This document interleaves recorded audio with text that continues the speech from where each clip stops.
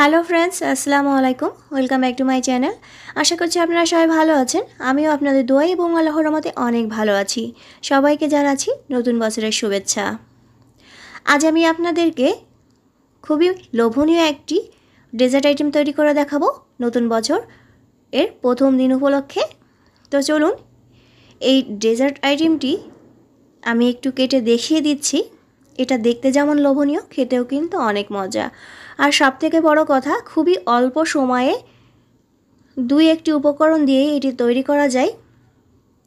তো প্রথমে আমি এখানে একটি বোল নিয়ে নিয়েছি, আর নিয়ে নেব হাফ কাপ দুধ। আর এখন এর ভিতরে আমি দিয়ে দেব ওয়ান থার্ড কাপ কর্নফ্লাওয়ার, দিয়ে ভালোভাবে মিশিয়ে নেব। খুব ভালোভাবে মিশিয়ে নিতে হবে।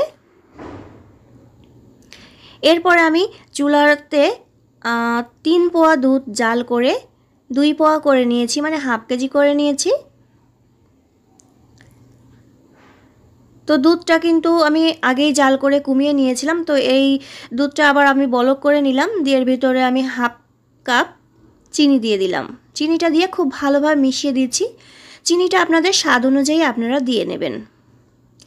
এখন এখানে আমি সেই কর্নফ্লাওয়ার গুলে রেখেছিলাম দুধ দিয়ে, সেটা দিয়ে দিচ্ছি। আর এই পর্যায়ে এসে কিন্তু চোলার জালটা একেবারে লো আঁচে রাখতে হবে। আর এই কর্নফ্লাওয়ার দেওয়ার সাথে সাথে কিন্তু আপনাকে ভালোভাবে নেড়ে মিশিয়ে দিতে হবে, যেন দলা বেঁধে না যায়। আর কর্নফ্লাওয়ার দেওয়ার কারণে কিন্তু খুব দ্রুত এটা গলে যাবে, তাই আপনাকে বারবার নেড়ে রেডি করে নিতে হবে। তো এখন আমার এটা প্রায় জমাট বেঁধে গিয়েছে। এই পর্যায়ে এসে আমি এখানে সামান্য পরিমাণে লবণ দিয়ে দেব স্বাদের জন্য। আর দিয়ে দেব এক ফোঁটা ভ্যানিলা এসেন্স। আপনারা চাইলে এখানে গোলাপ জলটাও ব্যবহার করতে পারেন। বাট আমার মেয়ে ভ্যানিলা এসেন্সটা খুব পছন্দ করে, সেই জন্য আমি ওই ফ্লেভারটাই দিলাম এখানে। দিয়ে খুব ভালোভাবে একটু মিশিয়ে দেব।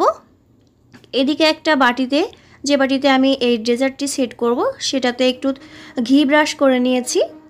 দিয়ে এর ভিতরে আমি ঢেলে দেব। দিয়ে ভালোভাবে সমান করে একটু ঝাঁকিয়ে নিতে হবে, ট্যাপ করে নিতে হবে, যাতে সব পাশটা সমানভাবে সেট হয়ে যায়। এটা এইভাবে সমান করে নিয়ে 10 থেকে পনেরো মিনিট নর্মাল ফ্রিজে রেখে দিলে কিন্তু এটা সমানভাবে, সুন্দরভাবে সেট হয়ে যাবে। তারপরে আপনারা খেতে পারবেন। খুব অল্প উপকরণেই আর খুব অল্প সময় কিন্তু এই ডেজার্টটি তৈরি করা যায়, সেটা তো আপনারা দেখতেই পাচ্ছেন। আর এটা খেতেও কিন্তু অনেক মজা হয়। তো আমি এখন ফ্রিজে রেখে দেব দশ থেকে পনেরো মিনিটের জন্য। দশ থেকে পনেরো মিনিট পরে ফিরে আসছি।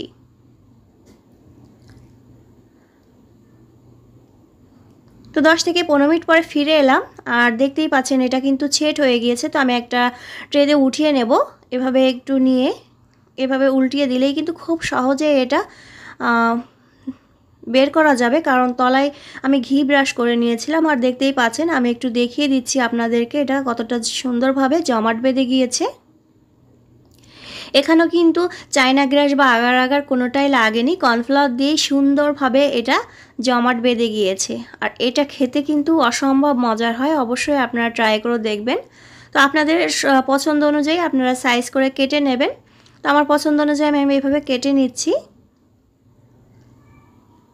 আপনারা এইভাবেও খেতে পারেন। আবার গুঁড়া দুধ অথবা কোকোনাটের যে গুঁড়াটা পাওয়া যায় ড্রাই কোকোনাট সেটা দিয়েও একটু জড়িয়ে তারপরে খেতে পারেন। তো আমি এখন এখানে শুকনা নারিকেল মানে কোকোনাট ড্রাই কোকোনাটটা নিয়ে এভাবে গড়িয়ে নেব।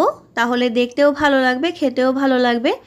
আর এই ড্রাই কোকোনাটটা আমি বাসাতেই করে নিয়েছি। নারিকেল থেকে দুধটা বের করে নিয়ে এটা আমি শুকিয়ে নিয়েছি।